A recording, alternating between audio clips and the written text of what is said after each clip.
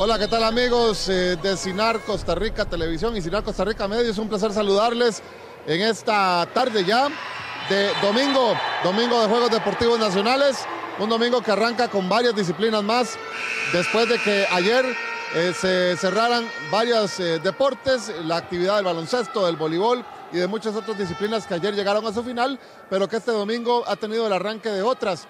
Y por esa razón nos hemos venido a una actividad que a la gente le gusta muchísimo, como es el fútbol sala. Es un deporte que ha crecido en los últimos años. En este momento están jugando Orotina y Limón aquí en el Polideportivo de Cartago y está eh, en ventaja, o más bien acaba de empatar el equipo de Orotina. El marcador es 2 por 2 a la altura del primer tiempo, cuando le resta un minuto 13 a este compromiso en su primer periodo para finalizar. Yo me encuentro por acá con don eh, Giovanni Madrigal. Giovanni es el, eh, eh, subdelegado técnico, gracias Giovanni, sí, subdelegado técnico de los Juegos Deportivos Nacionales, con quien vamos a conversar un par de minutos, Giovanni, agradecerte mucho que nos acompañes, saludarte y que nos contés cómo has notado el desarrollo en los últimos años del fútbol sala en Juegos Deportivos Nacionales eh, que ha tenido un aumento importante en cuanto a la cantidad de atletas, no solo en varones, sino en mujeres también. Un placer saludarte, Giovanni. Eh, muy buenas, muy buenas, Gerardo, muy buenas a todos los televidentes de Cinar, Canal 13, y de verdad agradecerle por venir acá a tomar en cuenta el fútbol sala. Este, pues sí, Gerardo, eh, ha crecido bastante el fútbol sala, tanto en la rama femenina como en la rama masculina, y creemos que el nivel de fútbol sala masculino y femenino es muy bueno en Juegos Deportivos Nacionales, realmente eh, ha crecido, tenemos las mejores condiciones para que los atletas se desarrollen jugando aquí y creo que es importante para el fútbol sala eh, eh, Juegos Deportivos Nacionales.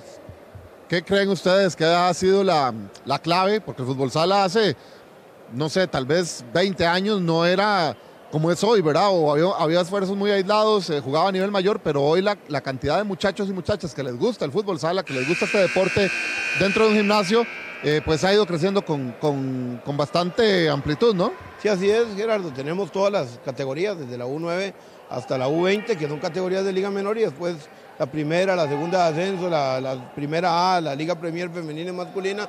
Y creemos que se ha desarrollado porque hemos hecho alianzas estratégicas, hemos ido a buscar a las diferentes comunidades, incentivar el, el, fútbol sala y creo que esa es la parte importante en la que uno se debe desarrollar para que los deportes crezcan y de verdad que el fútbol sala hoy eh, muchas personas en este país lo practican.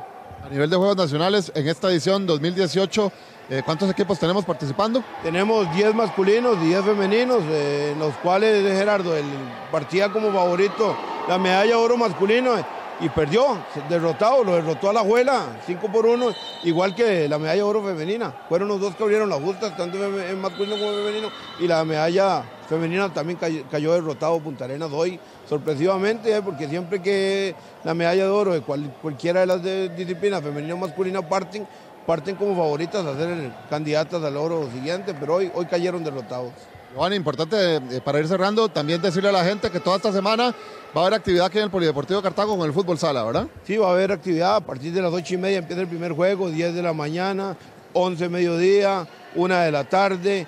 Eh, luego eh, eh, tres y media, cinco, seis y media y siete de la noche. Todo, todo el día vamos a tener juegos, vamos a tener ocho partidos, ocho partidos diarios, donde estaremos jugando ocho partidos diarios, eh, cuatro femeninos y cuatro masculinos, hasta el día jueves, que salen los clasificados de la semifinal, la semifinal que será el día viernes, donde estaremos jugando los, los cuatro partidos de semifinales entre ocho, entre las 12, 2, 4 y 6 de la tarde. Se estarán jugando los, respectivamente los juegos. Y la gran final que, se, que serán en bronce a femenino a las 8 de la mañana del día sábado 14, a las 10 el, masculino y, las medallas de oro, tanto femenina como masculina, que serán en vivo y a todo color por el CINAR. Esperamos que todos los televidentes del CINAR, Canal 13, disfruten de una transmisión que esperamos sea muy bonita.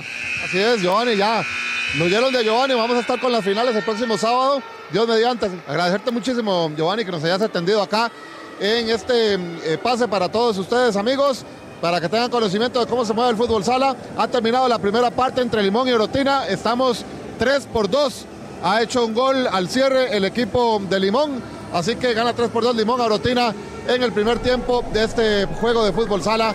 Ya ha arrancado esta disciplina en los Juegos Deportivos Nacionales.